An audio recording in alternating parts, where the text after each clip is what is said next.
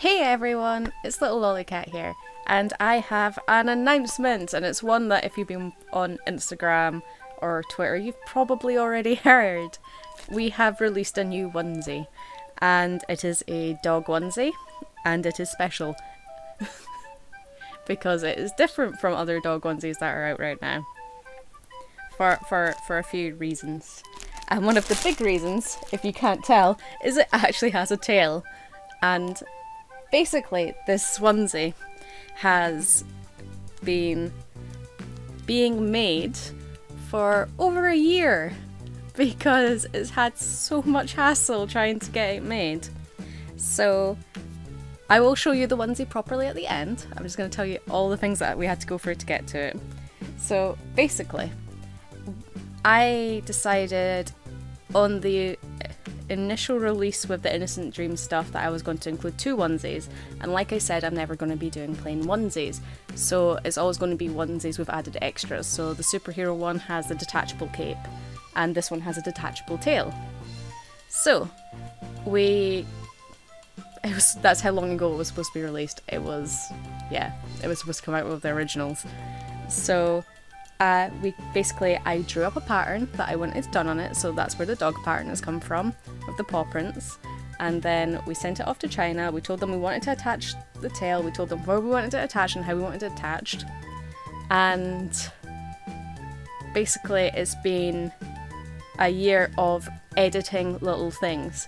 Like for some reason, the first three to four attempts with the fabric, for some reason, China, one, changed the colour of it. So this is the original one that they sent back to us. This is the colour it was supposed to be. This is the colour they changed it to. They made the print very, very small as you can see and they made it very boxy. Because for whatever reason they decided to take the pictures, cut them out of the original file, and then re-put them on themselves in a weird pattern. So then we had a second one that was more accurate colour-wise, but it still wasn't quite right and they still hadn't gotten the pattern right. And then eventually, I, I may have been a little bit more snappy than I would have liked to have been at this point, but it had been a long time, where I said, look, we sent you the original pattern file, why aren't you using that? We literally sent you the pattern we want used on the fabric. We have told you how large to make each animal on it basically. We gave them all the dimensions, everything, and they just kept playing around with it and changing it, which is a bit of a pest. Including stuff like we had obviously told them that because it is a tailed onesie, it has a tail. So this is the original tail that came with it. Obviously doesn't match. I had told them that I wanted the blue tail, I had picked out the blue, and I said that was the one that matched the fabric best, so could you do it with that tail? So then they sent us this one. One of my big pushes was that I said I wanted it to be at least 24 inches long, so it's about 26 with all the fluff. So this is the original tail. This is not the tail we have gone with though, because the, the next version is more puffy. So we did this um, we had an issue where they had stuck basically what we have done so that you can wear the tail on the onesie is we have created a really simple, really, really easy thing, which is just this band with a button on it. So you can you attach the tail to the band and then just simply tie a bow around it and then the button's hidden and it just looks like you've got a tail, a little bow above the tail, which is fine. On the third, I will also say for those of you who aren't a big fan of the tail being there, or like the tail but don't want the tail on the onesie, just want the onesie, these are really easy to remove with a seam ripper, which I actually did to the second onesie, which I've put somewhere, and I think it might be in the wash because I can't find it right now. So that's what I've done with the second one. So the next issue we faced was I said I wanted the tail down, basically down here where the bone is, at the bottom of the um, tail bone, which makes sense for tail placement. But they kept sticking it at the, for some reason, at this, instead of at the tailbone, they kept sticking it at the waist. So basically, the ways that onesies sit on you, there's usually loose fabric around the waist.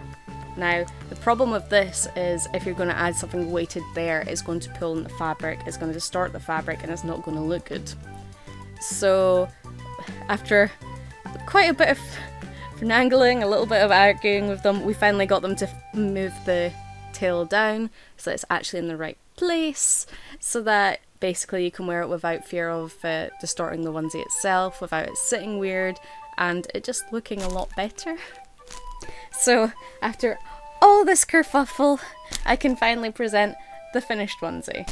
And this is on site, it is $29.99 for a onesie with a tail, so it is reasonably cheap. I will also say that these onesies have metal snaps instead of the plastic. I'm giving them a go and seeing what people think. Um, some people seem to really love plastic, some people really seem to love metal. We will see basically what the consensus is at the end. So far, I have had very few complaints with the plastic. I have had some people message me and say that basically they've replaced the plastic snaps, they've broken them off and replaced them with metal snaps because they prefer metal. So I'm gonna see what's basically what's more popular, what people prefer, because I do prefer to actually listen to you guys rather than just go, well, I like plastic, so everyone must wear plastic. So I am giving it a go. We will see. If I if I have raving reviews about the metal snaps, then I will keep the metal. If not, then I will keep the plastic, basically. It's that easy. So this is here. Dun, dun, dun, dun, is the final thing.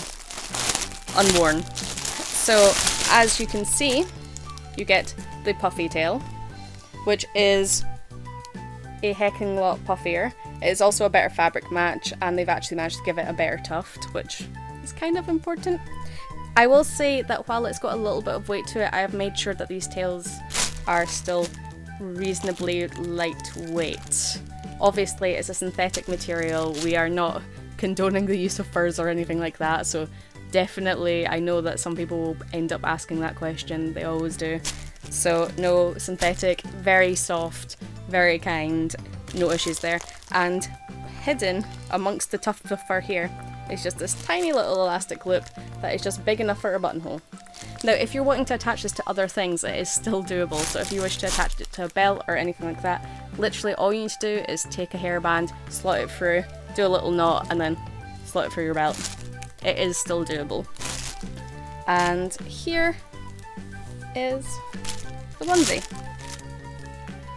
We have also, I did promise it was coming, so these ones are in a, available in larger sizes, so these ones are now available in a size small to 4XL, which is more size friendly for people because I know a lot of people have said about how they would have liked to buy some of the onesie dresses but they were larger sized and a bit scared. And it's part of the reason why I know unfortunately we are out of 2XL bear dresses. They're completely gone. We can't get them back in unfortunately. But because the fabric was stretchy enough on them basically some people were able to sneak in that were sizes 3XL and 4XL into the bear dress because it had so much stretch so now, instead of having to worry about the stretch, we have just gone up to a 4XL. We understand that it's better to be available. So here is the onesie print. It is quite simply just a dogs with paw prints. As you can see, the straps here have been made a bit longer, the button's more central and it's lower down, so you can place it. And once again, like I said, these are really easy to take off. The um, fabric itself is reasonably thin for the straps, and this is important because as many of you will know, obviously a lot of my clothes are made so that you can theoretically still wear them outside. So these are really easily hidden underneath things. You don't need to tie them in a bow, you can leave them hanging, you can do what you want with them, but because they are thin, they're not going to bulk up or leave too much of a noticeable mark. Let's see. I do know someone uh, recently I went out on a day out with a couple of friends and one of them wore them out. Had absolutely no issue with it being noticeable, so yeah. So it's just having a little bit more fun. And it is once again stretchy. Do do do do. Do do do do. Yes, it's stretchy both ways. See, I made to I made sure to show you that because I know that's important. There's nothing worse than finding something that stretches that way but won't go down. so, it is... Hopefully, people like it. Hopefully people like it. I, I am a little bit enamored of it. I may have spent all of this morning while waiting for the mister to help me get basically the camera set up. I have basically been standing around swinging the tail about seeing how far I can get it to go. and yeah, so I will show you the actual onesie now. So this is the onesie. It is stretchy, it is comfortable, it has, like I said, it's got the bow. It's okay. It's I'm zooming in it's- on the tail right now. It's much more fun than it should be, just because you can swing it about. It is soft, it is comfortable, and yeah, it's it's fun. Let's put it that way. And The. I am far too amused by this this uh, swingability, basically. But as you can see, while I am wearing it, it's not pulling, it's not causing issues, and that was really important to me. The ability to be able to prance around, swing a tail about, have a little bit of weight, and as you may have noticed, it is a particularly long tail because I don't like things to look too cheap. And for some reason, whenever they add tails to things, they cut them off about 12 inches, which is about here. And who needs a tail that just goes to there when you can have a large one that you can swing around and hit people with when you pass? Yay! Fluffy, fluffy, fluffy, fluffy.